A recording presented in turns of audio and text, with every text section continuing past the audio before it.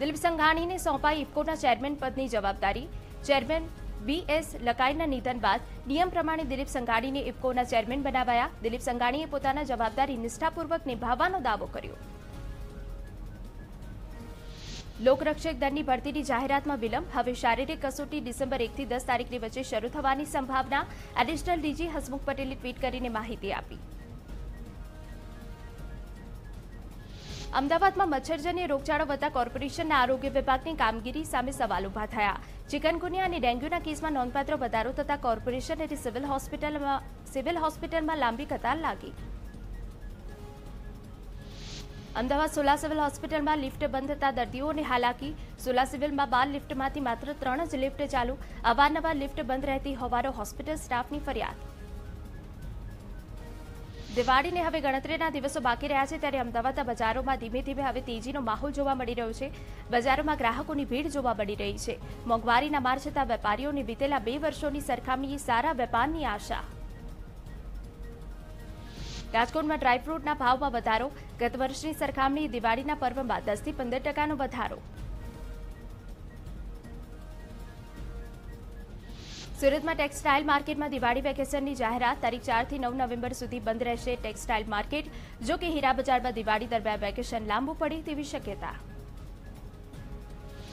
પડતર માંગણીઓનો કોઈ ઉકેલ ના આવતા ગુજરાત એસટી નિગમના પાંત્રીસ હજારથી વધુ કર્મચારી કરશે હડતાળ.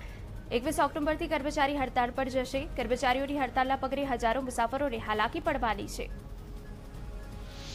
વડોદરા એસટી ડેપો પર કર્મચારીઓનો દેખાવ, વિવિધ મુદ્દાઓનો ઉકેલ નહીં આવતા એસટીના કર્મચારીઓએ દેખાવ કર્યો. આવતીકાલે રાત્રે બાર વાગ્યાથી એસટી બસ થંભાવી દેવાની ચીમકી ઉચ્ચારી હતી.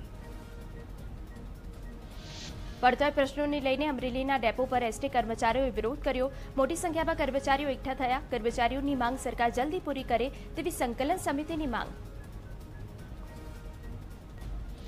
રાજકોટમાં ટ્રાફિક મેમોથી પરેશાન એક વ્યક્તિ કિડની વેચવા માટેની મંજૂરી માંગી. પાંચ હજાર આઠસો રૂપિયાનો મેમો આવતા વ્યક્તિએ પોલીસ કમિશનરે અરજી કરીને કિડની વેચવાની મંજૂરી માંગી. આર્થિક સ્થિતિ ખરાબ હોવાથી મેમોની રકમ ભરવા માટે મંજૂરી માંગી.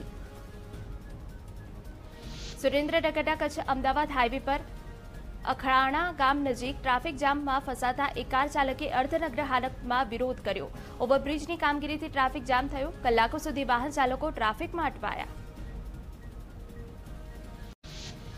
રાજકોટમાં વરસાદ બાદ રસ્તા પર ખાડા પડવાથી પાંચ કરોડનું નુકસાન થયું. વાવડીનો એસી ફૂટ રોડ ખખડધજ અને મબડી રોડ પર ઠેર ખાડા પડતા વાહન ચાલકો પરેશાન. મહાનગરપાલિકાએ સમારકામની સિત્તેર ટકા કામગીરી પૂર્ણ થયાનો દાવો કર્યો.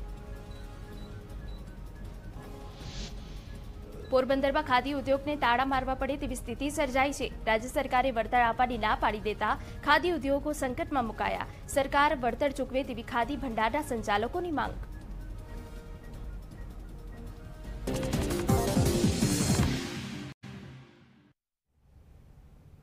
વલસાડના કપરાડામાં અસ્ટોલ પાણી પુરવઠા યોજનાની પાઇપલાઇનમાં ભંગાણ. તૈયાર સુકા પાકમાં પાણી ફરી વળતા ખેડૂતોને મોટું નુકસાન. વલસાડ ગામમાં કરંજલી ફળિયાપા પાઇપલાઇનમાં સર્જાયો હતો ભંગાણ.